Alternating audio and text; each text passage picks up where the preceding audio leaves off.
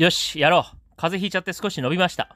大晦日の大会終了後から振り返っていきます。そっから帰って感じなんですが、せっかく作った分もありますので、数日かけて取り戻していきますので、お付き合いください。まずは試合後インタビューですね。堀口教授選手からで、河村夏樹さんも登場しまして、堀口選手のプロポーズの言葉は、このライジンのリングで、河村さんと出会い、いつもサポートしてくれていた。結婚してください。と、即興で考えた。ライジンで出会ったので、ライジンでプロポーズするのが筋。負けていたらプロポーズはしていなかった。試合とプロポーズは別に考えていた。いつから付き合っていたかはシークレット。これかなり前からっぽいですね、実は。カツオの一本釣りと。で、指輪はハワイで2人で選んで買った。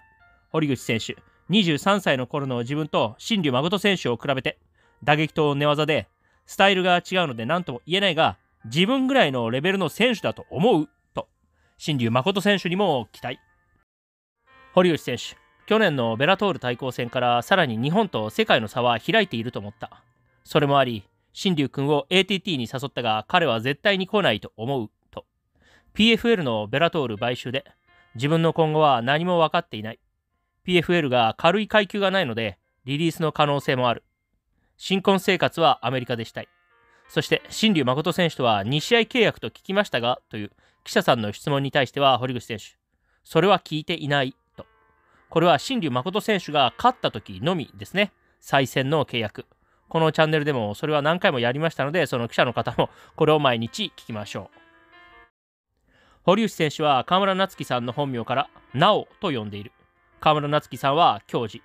堀口教授選手、すごい甘えてくる。河村夏樹さん、昔からファンだった。結婚式は2月3日、日本でやる。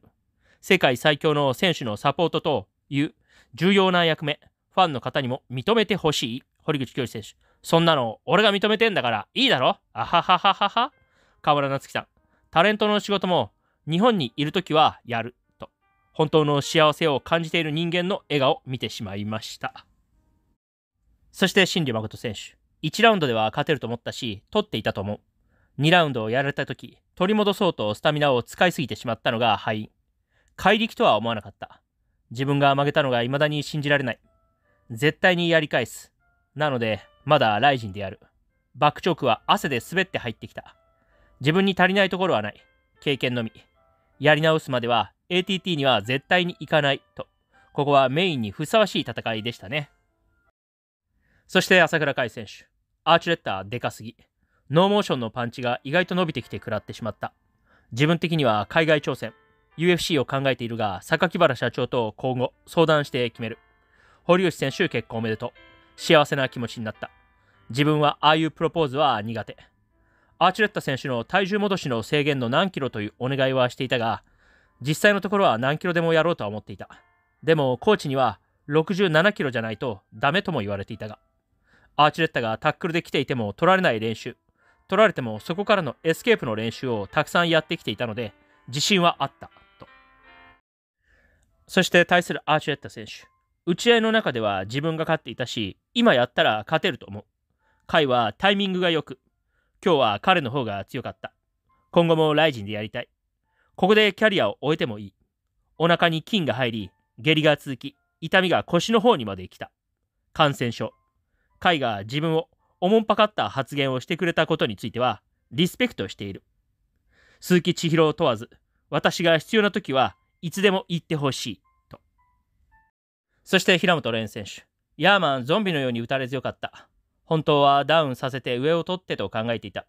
1ラウンドで足の裏がずるむけてしまい、戦い方を変えて、その後ずっとボクシングで行った。試合後、泣いているヤーマンにポンと肩を叩き声をかけたのは、はい、俺の勝ちと言った。でも終わったら、ノーサイドなんで、と。そして打ち合いはどう考えても俺の方がうまい。朝倉未来にはできないテクニック。左手にはひびが入っていると思う。ヤーマンはもらいながら当てに来るのが作戦だったと思った。心は弱くなかった。気持ち強かったから頑張れよ。ブラックローズ軍団負けた選手もみんな男だったが太田忍だけはキモかったんでぶっ飛ばしてもいいかなと思った。初めて自分から寝かせてこんな乳酸溜まるのかと経験にもなった。聞いた攻撃はない。覚悟の違いで自分が勝ったと。対するヤーマン選手は冒頭から涙。何が何でも勝ちたかった。やり返す。心の弱さが敗因。2ラウンドを下になった時、スタミナの温存を考えて、ナスがままにさせてしまった。あそこで無理やりにでも抜けていたら、あっちも体力を使い、3ラウンドまた違う結果が待っていたのかもしれないと思った。もらっても大丈夫なパンチと思い、受けに行っていた。でもそれは見え方が悪い。インローのダメージもない。カウンターで当てに行った。判定は相手が揺れている時間。壁に押している時間も自分の方が長かったので、勝ったと思った。でもパンチの正確さと頑丈さがあいつにはあった。総合で見たら負けていたのかもしれない。今回は試合がつまらなくても勝てればいいと思っていた。平本の MMA の強さは感じなかった。四つも強くなかった。敗因は自分の心のせい。試合前は生きがっていて申し訳ない。絶対に這い上がる。と。ヤーマン選手の方が今回気持ち的に強く望んでいたかと思っていたら、試合ではまさかの逆だったようです。イゴール田辺選手。コンディション、スピードパワー。これが自分の階級だと思った。今後もウェルター級でやっていく。と。これはストラッサー起一選手と決まりそうですね。対する安西新章選手は、不甲斐ないの一言。テイクダウンディフェンスしてからの攻撃という作戦だった。と。元谷選手、不甲斐ない。自分のペースで進めるはずだった。ATT に行って、すぐには強くならないが、学んだ動きを出せていたところもあった。対するビンス・モラレス選手はビールを飲みながらの受け答え。日本のビールは世界一。目頭が切れて、縫うかどうかのライン上だったが、日本のお土産を一つ持って帰りたかったのでお願いした。もっとボディを狙っていればフィニッシュできたと思うと。三浦幸太選手、打撃でいけるなと思い、やり合っているうち、拳が折れて、組に持っていけなかった。パニクった。セコンドにも拳が折れたことは言わなかった。コージ選手にはいいパンチ持っているなと試合後言われた。ライジンじゃなくてもいいので、試合をしたいと思っている。コージ選手、ロープつかみはあんなところにロープがあるのが悪い。カーフは痛かった。俺の頭は最強。タケポンしかり、みんな骨折する。青木がいて心強かった。顔に泥は濡れないと思っていた。太田篠選手、芦田君がめちゃめちゃ練習してきていたのは感じた。MMA と向き合っているのが伝わってきた。大久保さんの勝ちは自分のより嬉しい。勝利後の魚ビクビクポーズはアデサニアの真似。皆様に楽しんでほしくてやったことで、芦沢くんをバカにしたわけではないので、叩かないでください。芦沢くんはいい子。俺にできることがあるなら、一緒に練習したりしようよ、と試合後に言った。芦田流星選手の方は、ダメなところはもう分かっている。俺の攻撃が先に当たっていたら、俺が勝っていた。もう前を向いている。MMA の距離が独特でいい経験になった。アメリカに行くので、そこで一からやり直してもいい。今回の試合は、ぶっ飛んだ恋の歌って感じ。全く緊張していなかった。コージとの再戦オファー来たら、気分で決める。MMA だったら、もっと差がある。と。ジョン・ドットソン選手。大久保の鼻を折っていたので、ダメージ優先なので、ライジンは、あれ以上行く必要がないと思ってしまった。でも今後もっとアグレッシブにミュータントにならなければならない。なぜなら私の身長は183センチだからだ。と。石渡慎太郎塾長もアメリカ行った時、ドットソン選手がいて、普通にヘビー級の選手と、しかもボクシングスパーをやっていたと言っておりましたので、かなりいいキャラですね。でも私は外国人だから、圧倒的に勝たないとダメなんだよね。他にライジンのフライ級で興味ある選手うん、特にいないかな と、多分あんま詳しくないのかもしれません。でもキャラクターはもっと掘り下げたら、お宝が埋まってそうな感じがしました。対する大久保選手は、対策通りできた。自分の中では、この VS ドットソンは UFC で組まれていてもおかしくないカードという位置づけ。それに勝ったので、UFC トップレベルにあると思っている。UFC は自分を取らなかったので、常にこの野郎という気持ちはあると。そして、なんと、鼻は折れていないと。それじゃあ、ドットソン選手、勝てないわ。山本美憂選手、すっきりしてない、微妙な感じ。1ラウンドいけると思ったが、2ラウンド自分の悪い癖が出てしまい、そこを突かれて取られてしまった。MMA のトレーニングは今後も続けていく。伊澤星花選手。今後は DEEP JEWELS の Black Combat に取られてしまったベルト取り返しに行く。久保優太選手。テイクダウンディフェンスを覚えるには、オフェンスを覚える必要もある。今回はそれを見せれた。安保選手はパワーがあってびっくりした。サラちゃん、昨日、計量後に久保ちゃんから電話があり、安保選手めっちゃ強そうだったよってビビっていたので、チャンピオンのプライドないの？と言った。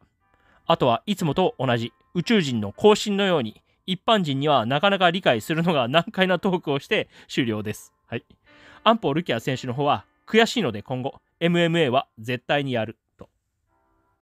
ヒロヤ選手、夢みたい。聞いたなというのは顔で分かった。新井城選手、記憶が飛んでいる。負けは想定外。今後は白紙になった。気持ちを折れる姿を見せるのが格闘家として一番かっこ悪いと思っているので、それだけはセコンドに確認した。篠塚達樹選手、倒せなくて恥ずかしい。体調が悪かった。K1 軍事のベルトを取りに行きたい。相手は弱かったが気持ちは強かった。試合後に頑張ってと言った。富澤大地選手、ダウンを取られる想定はしていた。篠塚選手は強かった。それでいい。どっちが勝っても盛り上がって後に続く人が出てくるなら、それでいい。自分は試合終わってからギスギスしたくないタイプ。乾杯。2位すぐる選手、右手多分折れている。正直寝技に自信があるので、クレベル小池選手とやりたい。ドミネター選手、記憶が曖昧。柵に頼りすぎて硬くなってしまった。カーフに頼りすぎ。他の選択肢がおろそかになった。分回しのフックも警戒していた。今後については相談して決める。これまでのダメージ関係なく、あれを食らったら倒れますよ。と。那須川隆人選手は、取られた腕は正直痛くなかった。勘で逃げた。シン・ジョンミン選手は意外と MMA ができて、ライジンに騙された。今後二刀流で行く。MMA の方は年1、2。試合展開が兄と同じで、本当に兄弟なんだと思った。天心には、ブローがかましたと言われた。まあ、いつもそんな感じ。と平本城選手、有志の蹴り上げで目が見えなくなったが、ダメージはない。今後はフライ級でやっていく。有志とはノーサイド。龍神の試合は特に興味なし。有志選手、実力差で負けた。テイクダウンできず、打つ手がなくなった。また RIZIN に戻っていきたいが、今の段階では必要とされていない。引退は自信ある試合をしてからにしたい。 RIZIN 以外は出たくないが、必要ならそれも仕方ないかもと考えている。ジョー選手には兄の変なところに影響されずに行ってほしいが、それも本人の自由か。クレベル小池選手、金原に負けた日は悪いメンタルだったので、あの日のことは参考にならないと思っていた。今日のファイトスタイルが自分本来のもの。堀口をとても尊敬している。学ぶことが多い。侍で礼儀正しい。悪口などではない。昔ながらのそういう選手にスポットライトが当たってほしい。堀口結婚？素晴らしいな金原選手 VS 鈴木千尋選手については、鈴木千尋が勝つと思う。平本には興味がない。弱虫。自分にやろうと言ってきたので、それに応えて、電話もしたが繋がらず、海外に行っていた。口ばっかりじゃなく、本物のファイターとやりたい。全く興味がない。と。対する斎藤豊選手の方は、ただただ無念。工夫が足りなかった。今後のことは全く考えていない。ポイントアウトは甘くないと思い、勝負に行った結果、クレベル強かった。そして、極真最強を証明した上田美京選手。膝は無意識に出た。須田亮剛選手は強かった。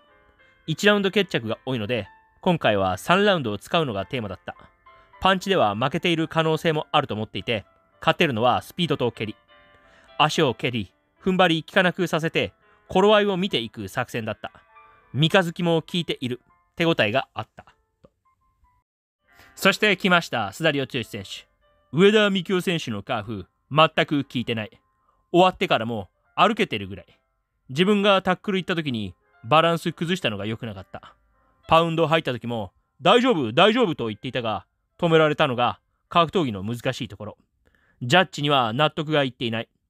大丈夫って言ってるってことは意識があるということ。そうやって言ってる時は止められないとは思っていた。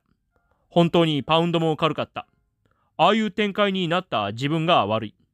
でも、渋沢翔馬選手とやった時は、しっかり負けたと納得できたが、今回は負けたというより、格闘技って難しいなと思っている。試合前に、安保の件というよりは、安保からの挑発の電話に答えてしまったことで、家庭がグダグダになってしまい、メンタルに響いてしまったのも、今回の試合に影響していた。家庭の事情は結構あって、心と体は噛み合っていなかった。そして上田幹夫選手がこの後世界を目指していると言っていることに関しては、ここでもまた、正直パンチすごい軽かった。前蹴りもカーフも。来るものがなかったので、どうなんだというところはある。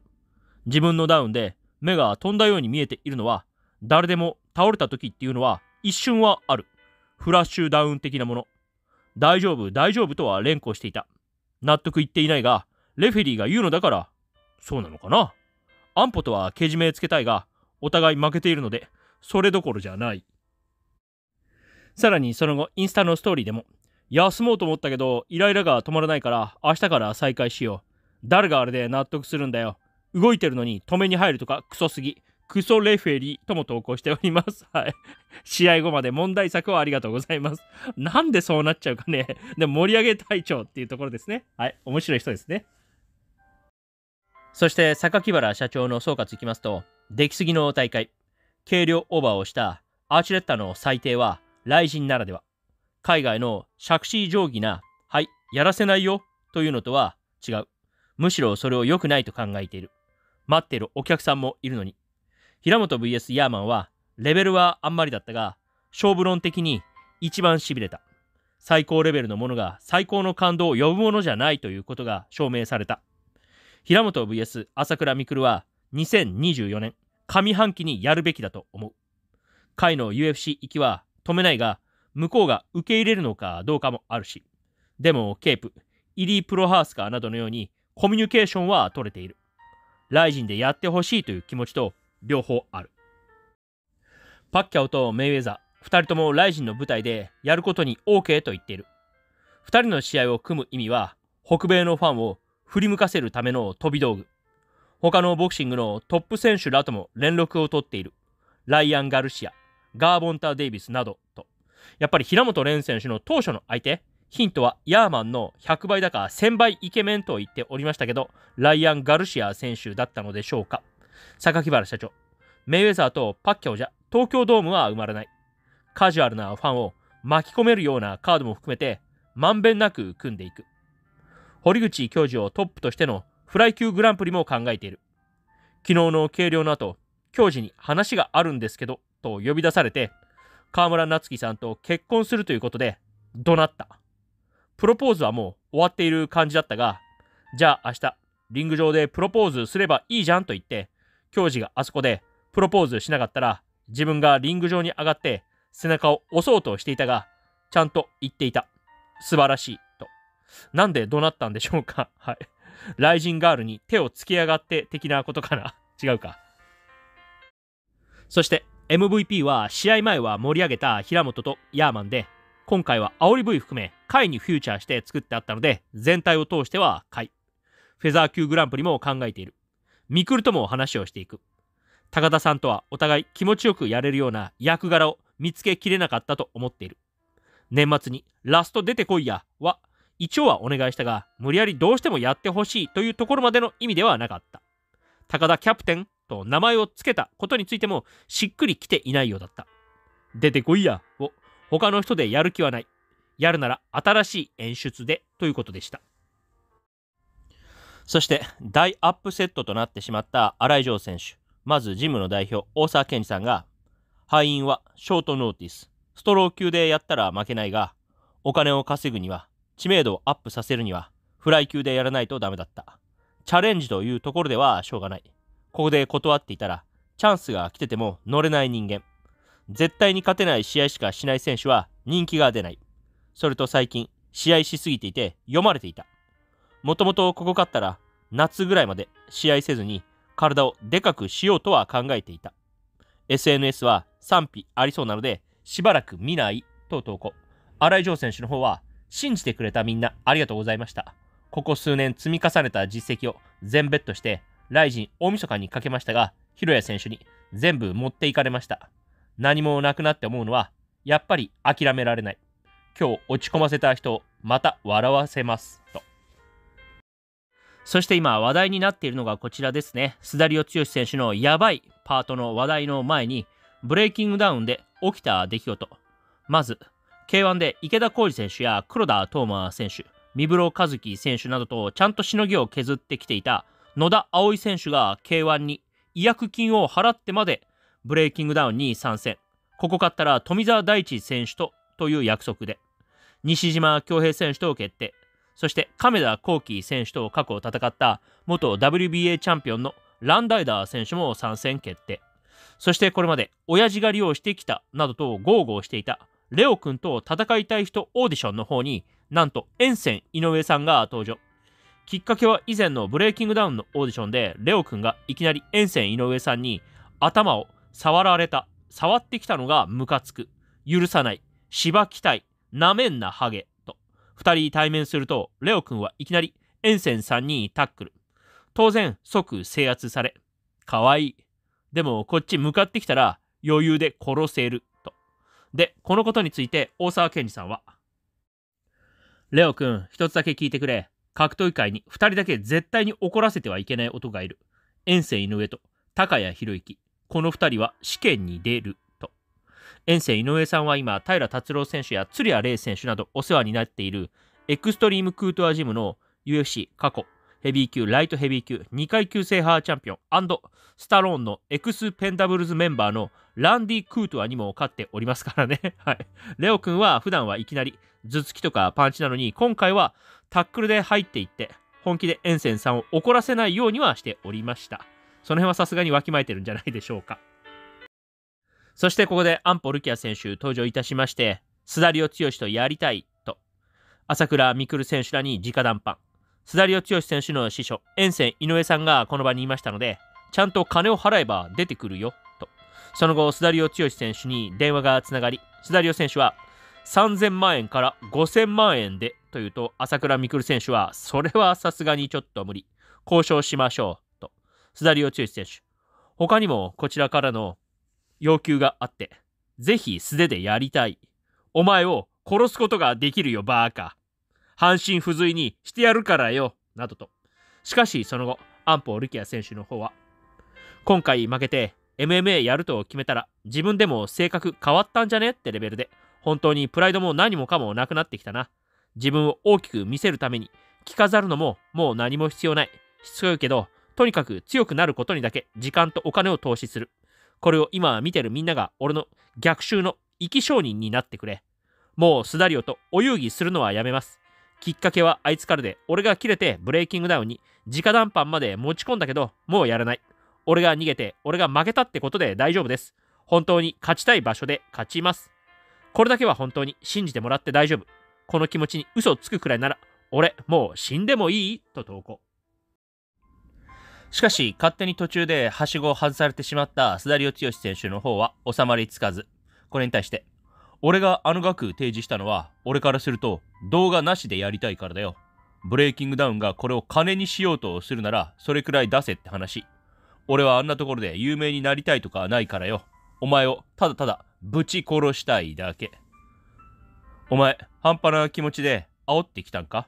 けじめもつけないで、俺は絶対に終わらせねえよ。俺を後悔させるんだろ？なんでお前のタイミングで終われると思ってんの？俺はお前に歩み寄ったけど、蹴ったのはお前だよな。だから俺は、引く必要がなくなったんだよ。お前が芋飛行が絶対に終わらせねえよ。これに対して安保ルキア選手、内々に DM を送ったみたいなんですが、それらのやり取りを後に公開。安保選手、マジかお前、笑い。スダリオ選手、おう、俺にもやるべきことがあるけど、お前を許さないからよ。俺に後悔させろよ。俺を狙ったやつ、絶対逃がさないからな。安保選手。オッケー。道とか会場であったら、しばいてくれていいよ。俺はもうお前に怒ってる場合じゃないから、これで失礼するわ。須田亮選手。契約書作ってサインしてからな。警察に行かれても嫌だからよ。悪いけど俺は怒ってないよ。俺もやるべきことあるから、いつになるか知らんけど、必ず行くから待っとけ。こいつ俺のことを散々晒したくせに、根性ねえな。お母さんに男は弾けないこともあるって言ってたよな。もうこの際、お前が根性あるない、関係ないところまで来たから、よろしく。やっぱあれじゃないの？安保力也選手が水かけ地蔵といえど雑に水をかけたことから始まったのでスダリオ選手が水かけ地蔵だったんじゃないの？たたりだたたりそしてこれらのやり取りを見た上田幹夫選手はブレイキングダウンとかじゃなくてという意味だと思います。一緒に世界目指したいのに点々点とツイートするとそれに対してスダリオ剛選手は大丈夫。そのうち君にもしっかり借りは返させてもらうよ。一緒に世界とか行って逃げるなよ。必ず首を取りに行くからとリベンジ宣言もいたしました。そしてブレイキングダウン戻ってきて気になるのもう少しだけ。まずはテコンドーの江端秀則選手松井健選手と決定。そしてなんとキックボクシング4冠元極真チャンピオンの須藤信光さんスドッチョのご子息のケンちゃんが登場ししかもいつの間にかミスターコンテスト世界一にもなっていたようでキャラも良くて朝倉未来選手にも気に入られいきなり配信合間の CM にも出演し、朝倉未来選手にも、君はいい意味で面白キャラなので、もう誰とやるのでもいいよ、とまで言われ、今回の赤丸急上昇キャラとして一気にブレイクしたと言っていいんじゃないでしょうか。スドッチョとプラティマさんは以前グスタボ選手関連でコラボしてて、懇意にしているので、プラティマさんもケンちゃん、ここでは村ケンという名前のケンちゃんを激推ししております。スドッチョはとにかく明るくて、人間力が超高い、面白いおじさんですね。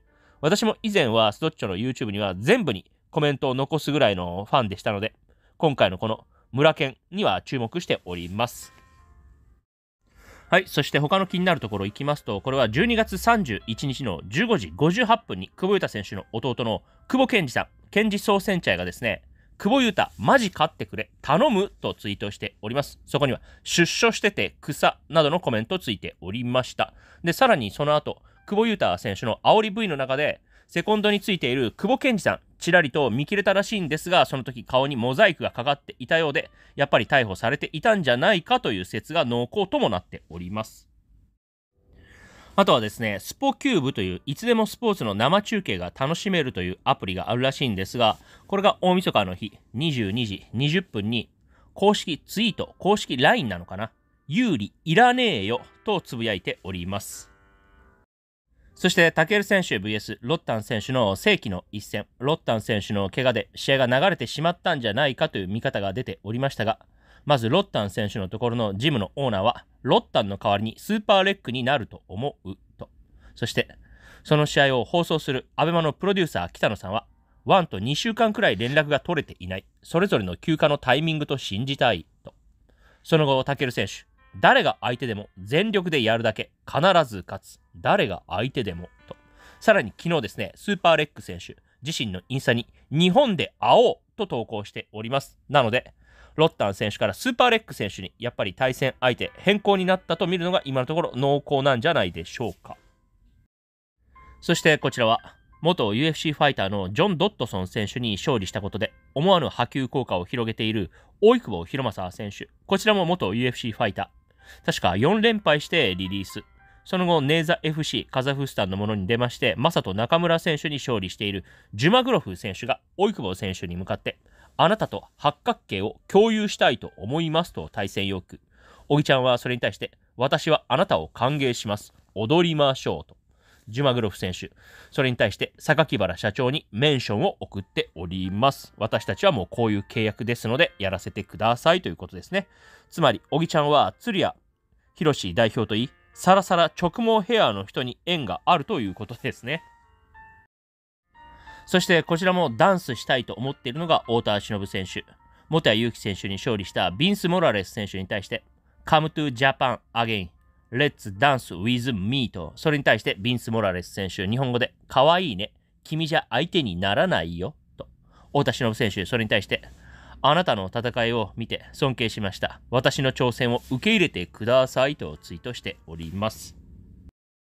そしてこちらは昨日のツイートで何があったんでしょうか？少し前から働くところ大沢健二さんのハーツからも移動させていた中田ザリッチ弘隆選手。本日付で武蔵村山斎藤クリニックの所属になりました。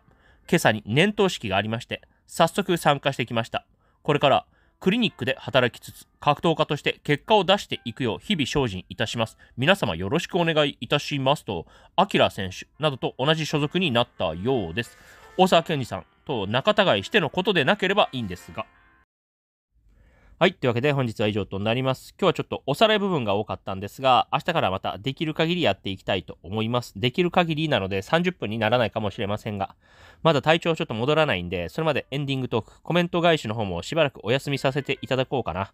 その時間をちょっとでも横になって体力回復に努めたいと思っておりますのでよろしくお願いします。はい。高評価、チャンネル登録、通知をポチッとオンにしてまた聞いてね。本日も良い格闘ライフを。ポーポーポポーポーポーポーポー